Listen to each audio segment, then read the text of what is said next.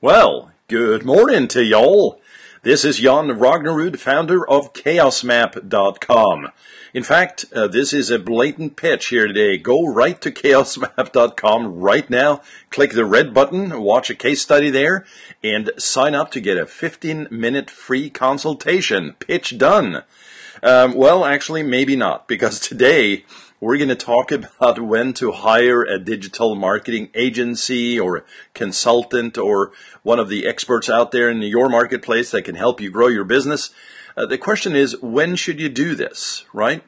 Well, from our side, it's basically if you're a fit, it's like anytime, right? It's like, well, let's talk about that in a moment, but you know, everybody wants to grow their business. You know, uh, everybody wants to make great connections and uh, you know take their business to the next level. Right? Relationships matter, and I talk a lot about this. Uh, uh obviously, here in the um, media and marketing broadcast on iTunes and Stitcher and Google Play and Spotify. If you're watching live from the good old Facebooks, uh, you've heard it and seen it there and or on YouTube and uh, just very excited about this digital marketing space. I mean, it's never ending, never stop. There's always something. And really what I mean by that, the always something is it's you. It's us humans. There's always needs, right? And, you know, uh, I was asked uh, not too long ago, actually, this happens from time to time. How'd you get into this digital and marketing stuff? You know, well, my background is software, software development, you know, technology, and uh, I worked with uh, Microsoft and Yahoo, and uh, done a lot of app development in in my time. But um, and and I hate to belittle that by uh, saying the following, uh, which is, hey, software is easy, psychology and human communication and marketing and the stuff we're doing now, uh, that's hard you know, because basically we're dealing with the, the human mind, uh, you know, the, the, the things that trigger us both positively and negatively. Well, how do you relate to that in an online medium and using digital marketing?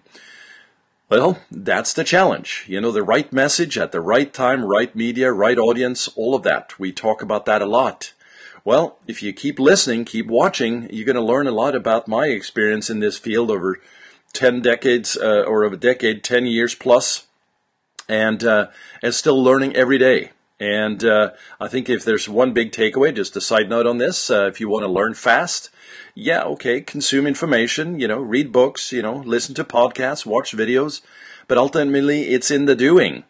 And it's also in mentoring, meaning having mentors and experts to help you. And that's what we're talking about here today to actually skyrocket your business. That's the, uh, that's the keyword for today. And it's like a total biased presentation, clearly, because I'm sitting here uh, from the offices in Los Angeles talking about when should you switch to an outside digital marketing consultant, right? So if you're doing stuff in house now, that's awesome you know, kudos to you.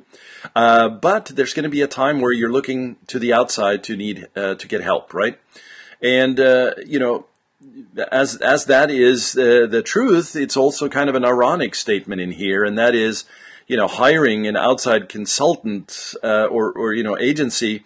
There's a level of hesitancy there. Uh, you know, uh, you may have been burned before. That's very common, by the way, or or maybe you haven't trusted the the company or the individual, or maybe you've seen a little bit of success, but it took a lot of your time. So you're you're basically saying, yeah, that kind of worked, but I have to babysit every step of the way. I mean, it's just a lot of moving parts here. That is uh, one of the expressions you hear me talk a lot about: the moving parts, right? The the chaos. By the way, that's a big hint. Uh, the name chaosmap.com comes from that level of thinking. Hey, there's a map that needs to be developed, a system and a process for your business. It is chaotic, and removing that chaos is exactly what we do in the sense of helping you organize, but also help you drive more business to your organization through systems and processes and project management and members uh, and experts of our teams that can help uh, but also make sure that you are using the right tools at the right time, the right strategies obviously applied to you in a custom way.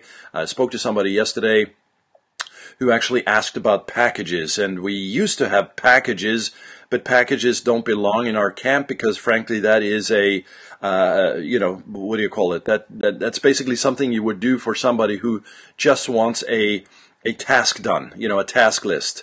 Uh, we help growth through customer acquisition processes, and um, that's basically not something that you can just put a package price on and uh, call it a day, right? we we work with you closely. It's a very intimate relationship. It's a long term relationship, and as a digital marketing agency, it's our job to to help you actually grow, not just you know do a task list, right? so let's define digital marketing for a second. Um, this is an umbrella term for the targeted, measurable, and interactive marketing of products and services using digital technologies and platforms to to reach uh, and convert those leads into customers and retain them, right? And the retain part at the end there, where they really become true super fans in your business and advocates for you, eh, is obviously where things get a little harder in terms of an outside firm because that's really on you, right?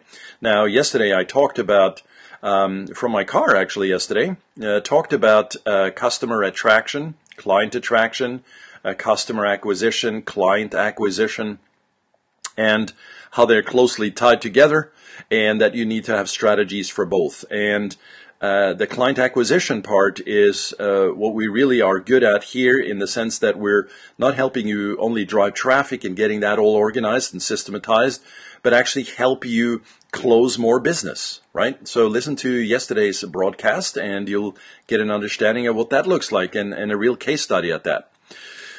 So, as I said here, for hiring an outside firm, uh, what are some of the reasons or signs that uh, you know, hey, it is really time to look at an outsider for for uh, helping with uh, digital marketing projects? Well, number one here is your website, obviously, social media, email. There's, as I said, there's a lot of tasking going on, but basically, if you have a strategy that is sound, and one of those strategies um, mean that you have to get a website up and running well, that's not an easy feat, right? So there's a lot of work to do when uh, when uh, you undertake a website development projects uh, project, and it's not just getting the right sort of branding, positioning, the the, the look and feel, um, you know, all of the technical aspects, but regular updates, you know, maintenance.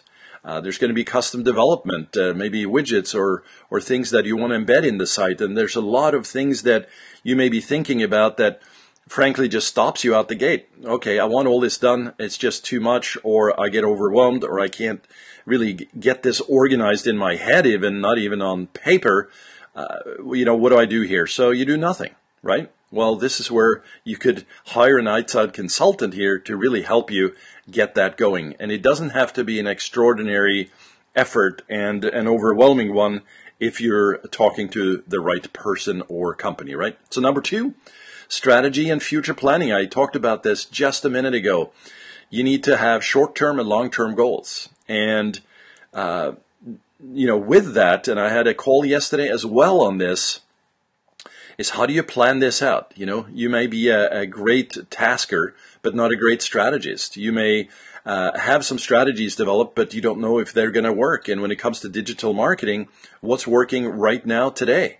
Well, you know, this is a perfect example of somebody who's current in the marketplace to hire an outside consultant to get inspired, you know, to get a, a detailed plan uh, and map out your sales growth. So everything around strategy and future planning is something that we do heavily over here because frankly, there's no reason for you to start without that, right? So get get the map before you head into the woods, right?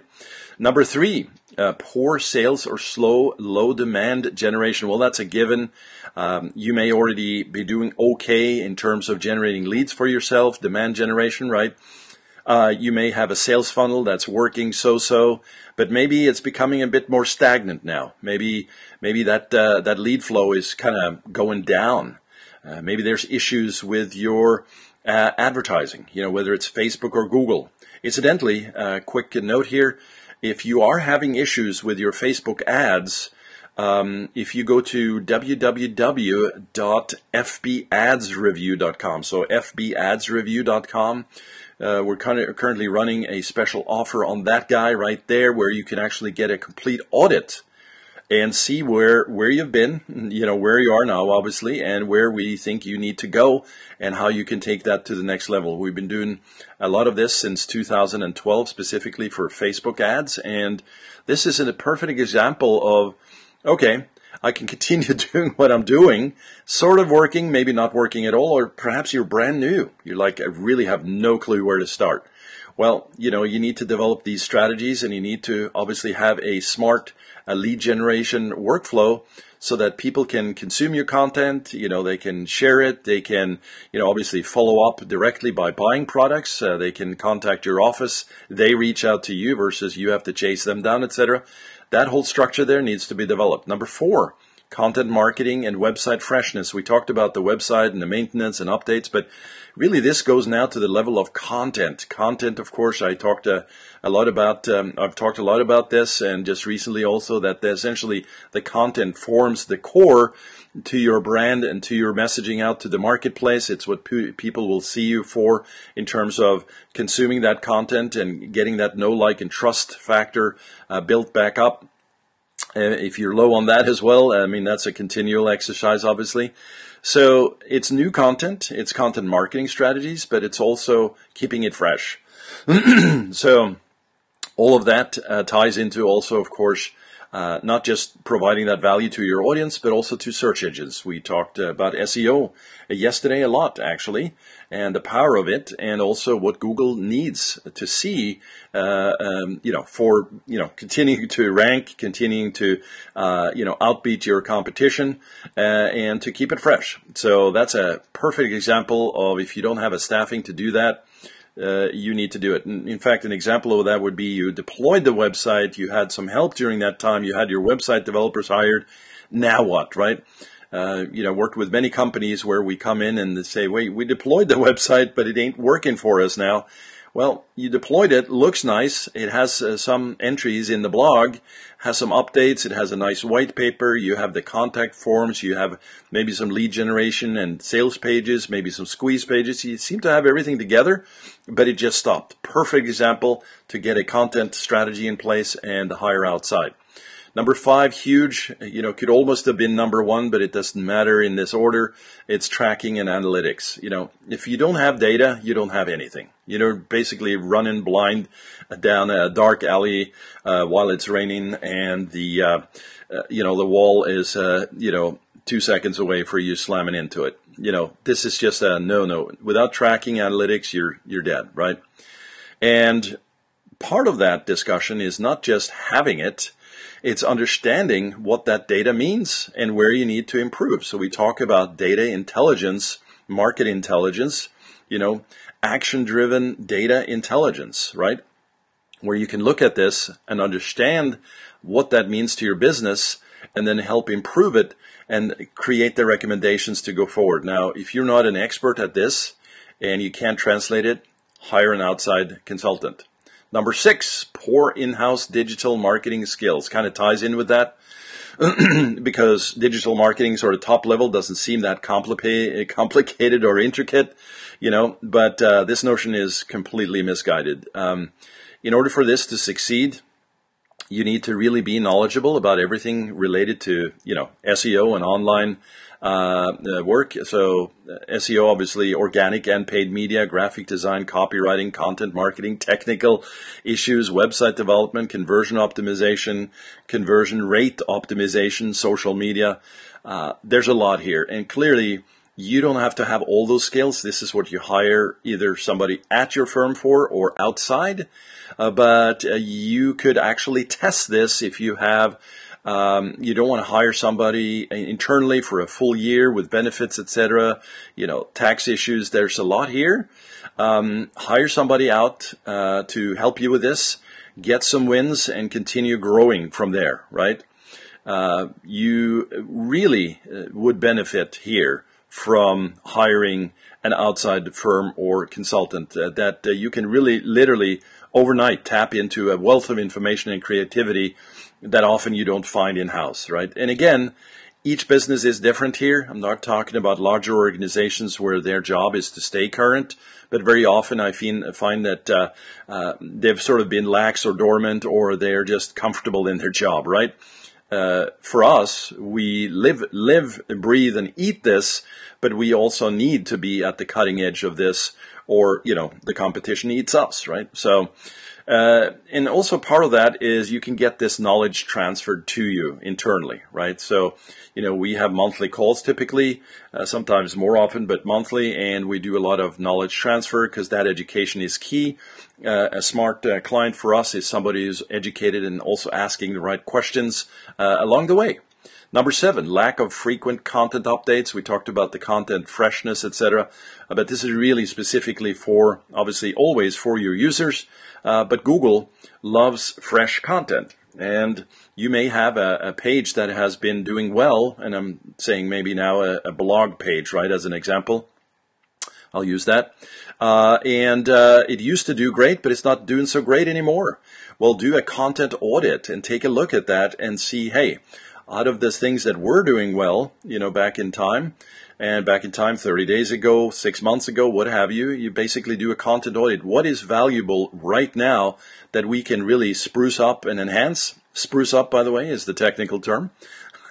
so, you know, now you can actually, uh, you know, update that content, uh, keep it fresh going forward, and also uh, make sure that you alert your audience to that through an email update, etc. Right? So now hiring an outside uh, consultant here can make this really easy for you because they can do the content audit, they can get these updates done for you, and then teach that process to you as well. Right? Um, one of the things we like to do, as I said, is teach and train and educate on these topics uh, because ultimately, you know, there could be a time where you're deciding, I want to take this in house because it's been so great working with you. You've trained us all. Well, that's success for us. We don't need to just, you know, have an ongoing relationship if you can do these yourself, right? But that's a balancing act, and um, you know we'll have to talk about that uh, at that time. But ultimately, the more you get educated, the better it is for us. Number nine, growing your business overall, right? We talk about digital marketing, we talk about top line metrics, you know, we talk about back end, but ultimately, what is it that you're trying to do? We're talking about bigger picture things, you know, words like, you know, reputation, legacy, authority, you know, you in the marketplace. What are you actually trying to do? Um, as you gain, you know, more reputation and trust in the marketplace, your new website, etc., your your updated, consistent, cohesive social media profiles and contents, distribution, uh, you know, um, micro content, all the things that you're doing. What what is that? Uh, what is that goal? What does that look like? And ultimately, answer this question: All of these activities, is it providing to the bottom line? Is it growing? Well, having somebody who can look at this and help you with it to get a clear picture of what that should look like is going to be a great option for you in terms of reaching out. Number 10, limited access to digital marketing tools and software. So this ties into a little bit the uh, earlier of, you know, staying current and being on the bleeding edge as the uh, cl- cliche goes. Well, having tools and access is going to be very important. Uh, we use this, uh, we have many tools in our quiver. And in fact, without them, uh, it would be a slow process. Um, some of the things we're doing for SEO, for example, we have power tools that can allow us to turn some things around in a top level audit. I'm not talking about the intense, you know, 120, 150 page audit we do for larger firms. I'm talking about some tools that can get a clear picture of, hey, there's some immediate issues to take care of here. We ran this tool X, we ran this tool Y on you and um, we found out uh, exactly what you could do right now. This, of course, helps you. It helps build trust. It uh, allows us to perhaps position a proposal uh, for you uh, that you can look at to see, okay, how do I drive this forward now that I have all this understanding? So it's a very collaborative effort, right? That's how we look at this entire sort of outsourcing a digital marketing consultant or, or firm. It is an opportunity to see how we work together. So it's a, a team effort. You know, um, I think that there's too much hype going on where companies or individuals are offering the, the moon and back. Uh, and yet there's no foundations built through strategies and, and solid expectations through milestones and project management and experts and teams that can help you at the right time. Um, you know, hiring an outside consultant um, for really any of these digital marketing needs uh, can't be undermined. You know, it should not be underestimated. There's a lot of power here for you in the organization and dealing with, you know, all your digital marketing uh, concerns. Um, but this also starts very simple, right? in your case, it would be, Jon, this has been very helpful. How do I get started? Well, you go to chaosmap.com and reach out. There's a free quote button up there. You can click that and we'll get that information and we'll send you a quick questionnaire. And that's really how everything gets started. And at that point, we'll see if there's a good match. There's potential. Maybe there's a good fit here. Um, but ultimately, we're going to show you some of the things that are working for you that we see, some of the things that are not working, and then ultimately, uh, are we able to help you with any of these activities that you're looking for uh, to get to the bottom line, right? So um, this has been a, a, fairly brief presentation today, but it's been a, an important one because I get these questions like, when should I hire? Obviously, super biased here today, you know. Um, but I should say this. This is a, maybe a disqualifier here for you is not every business is a fit, right? We work with Fortune 500, we work with small businesses, entrepreneurs, consultants, uh, but there's a process for this. And we've learned also the hard way because uh, we frankly have had some clients that were not a good fit, right? And we didn't know that until we started. So we're very careful, and uh, we're also a boutique uh, boutique agency. Uh, so we don't take on a lot of clients, which is kind of cool because that means we can really address the personal needs. We have a very direct relationship right to the top and with the owners, and we actually help them rather than just push another list of, of tactics and, and crap over there that you know nobody really cares about. Looks good on paper, perhaps, but uh, no, it's it's in the results, it's in the data, it's in that relationship, and it's about really looking forward to growth over the long term, not just a quick hit. Although quick hits out the gate, we like to to think about those, but uh, yeah, you get my drift. So um, anyway, look forward to uh, seeing you in the next broadcast. Okay, we're gonna play some music for you here now. Take it easy. Share, like, and enjoy.